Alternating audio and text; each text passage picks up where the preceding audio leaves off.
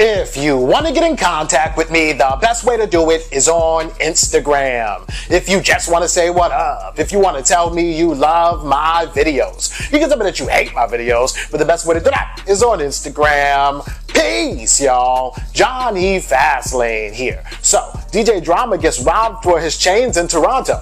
Let's talk hip hop.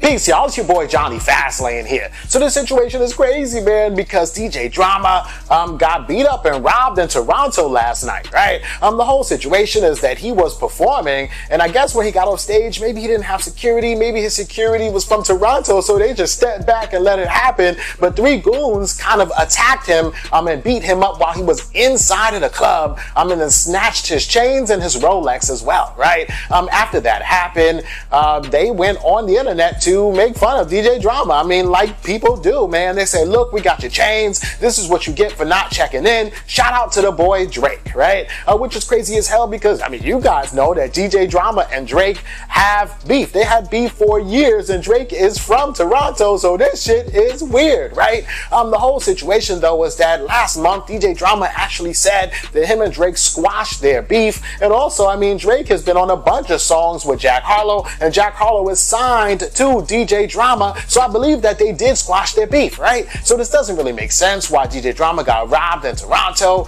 Um, but the good news is that they are returning DJ Drama's chains. Somebody, and we don't know who, somebody from the streets said that they got DJ Drama's chains back for him, right? Uh, we don't know if he had to pay or anything like that. And we also don't know if DJ Drama's okay because the rumor is that he was all bloody and leaking and everything 20 minutes after they robbed him. So who knows if he had to go to the hospital, get stitches or what, right? Um, so I guess we'll see what happens. And yeah, let me know what y'all think about this in the comments.